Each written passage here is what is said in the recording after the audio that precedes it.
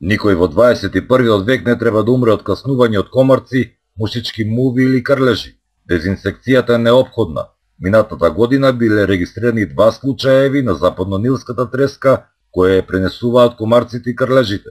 Голем број од овие болести кои беа ограничени на одредени географски области, сега се јавуваат и во региони во кои никогаш не биле присутни.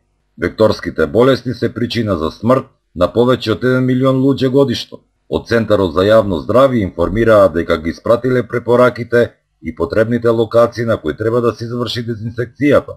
Мотото под кое го одбележуваше 7 април светскиот ден на здравјето беше мал убод, но голема опасност. И на вистина опасноста е голема и е, сите држави превземаат мерки во спречување на ширењето на оваа група на заболувања. Така и Република Македонија во 2012 година изготви акционен план за ставање под контрола на вектор преносливите заболувања, во кој акционен план се нотирани краткорочни и долгорочни мерки за спречување на овие заболувања.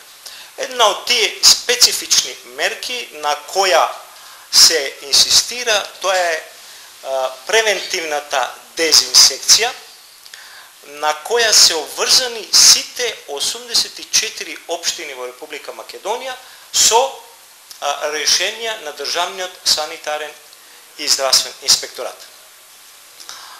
Би сакал да потенцирам каква е состојбата во однос на преземањето на ова главна мерка во нашиот регион, односно во нашите три општини.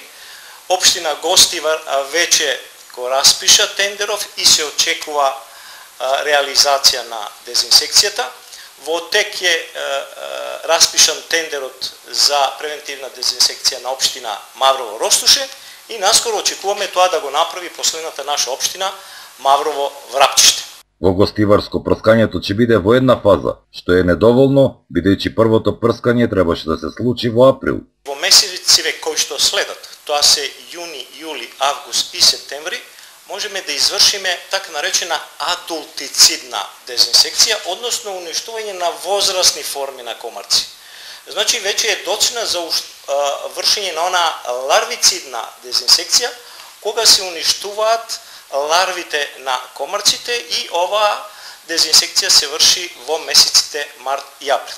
Значи, тоа е стручниот аспект на уништувањето на, на овие штетни инсекти, кои што се главни преносители на, на овие заболувања.